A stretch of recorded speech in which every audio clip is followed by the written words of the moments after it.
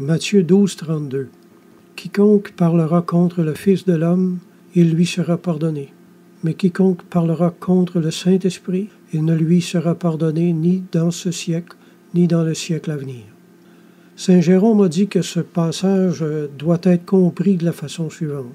Si quelqu'un dit une parole contre le Fils de l'homme, scandalisé qu'il est par la chair dont je suis revêtu, et ne voyant en moi qu'un homme, cette opinion, bien qu'elle soit un blasphème et une erreur en soi, sera cependant digne de pardon à cause de la faiblesse de la nature humaine qui paraît en moi.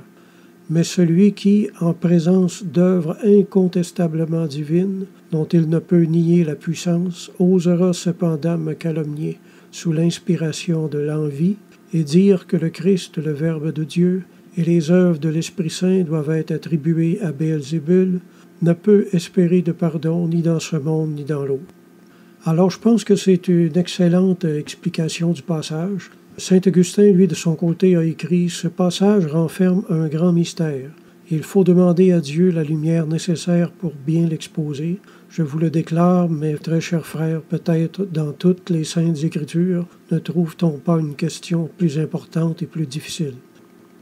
Alors je suis d'accord qu'il faut être très prudent en interprétant un texte comme celui-là. Il y a beaucoup de jeunes chrétiens qui, après avoir péché, plus ou moins gravement, ben, se croient coupables ensuite du péché impardonnable, faute de ne pas savoir ce que c'est. Comment qu'on peut faire pour croire qu'on a commis ce péché-là alors qu'on ne sait même pas ce que c'est?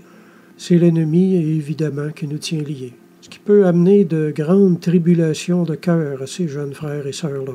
Euh, je le sais personnellement parce que j'ai passé par là. Euh, je me souviens avoir été dans un état abominable quand j'étais plus jeune.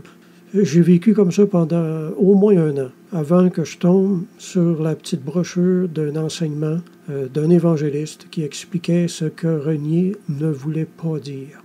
Ça a été toute une libération pour moi parce que l'ennemi me tenait dans les liens de la culpabilité constamment. Alors j'étais très heureux de sortir de ça. La connaissance libère. Hein. La vérité vous rendra libre, c'est vrai. Celui ou celle qui pense avoir commis le péché impardonnable devrait vraiment en parler à un homme de Dieu avant de se condamner lui-même comme j'ai fait, puis de se retirer des disciples du Seigneur, ou de se retirer de l'Église puis retourner dans le monde. Il y a une autre solution avant ça. Amen.